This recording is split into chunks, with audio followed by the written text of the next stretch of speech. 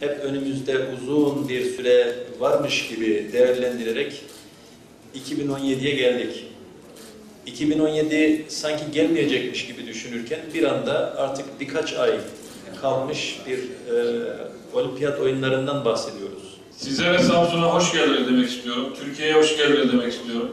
Uluslararası organizasyonlar konusunda çok büyük tecrübe sahibi ülkemizde bu yıl birlikte şimdiye kadar yapılan difliklik oyunlarının en iyisini yapacağımızı ifade etmek istiyorum. Hep birlikte sizlerin desteğiyle.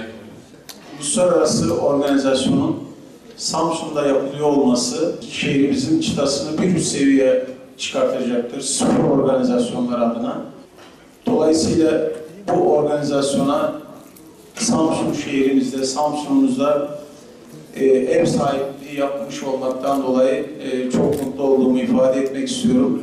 Temmuz ayında sizleri Samsun'da misafir etmekten biz memnun kalacağız.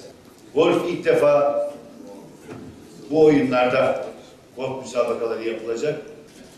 Bu da bizi ayrıca sevindirmekte. organizasyon komitesine, devlet acayibine çok teşekkür ediyorum. Kapının geleceği için çok güzel bir sporun başarının yolunu açılacağını inanıyorum.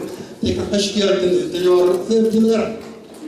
Olmaktan, desteğinizden, anlattıklarınızdan büyük minnet duyuyorum. Olimpiyatlarda çalışmalarda, spordaki gelişmelerde en üst seviyeye çıkacağımızı inanacağız ve o Brezilya olimpiyatlarının önüne geçeceğimize inanıyorum. Teşekkürler sunuyorum.